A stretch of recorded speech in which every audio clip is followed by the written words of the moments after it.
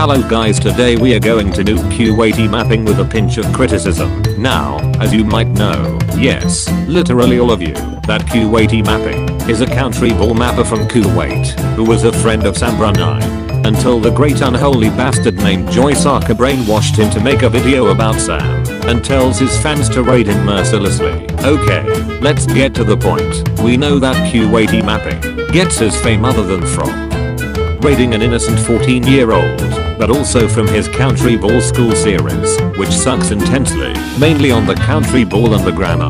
I have a separate series of criticism about his Country Ball series. As you might know, Kuwaiti Mapping's real name is Abdulaziz Ali, which isn't a big surprise, because he made a Q&A video that has him telling his fans what his real name was, so as you know, he uses circle tools in all of his videos, which if you read Poland Ball Wiki's rules on their fandom page, you'll know that circle tool is the most forbidden thing ever, and he gets $35,000 a year by using the forbidden circle tool on FlipaClip. He's famous for being anti-atheist and extreme homophobic, unlike the bats. Yes, the bats are homophobic, but most of the time they are just trolling.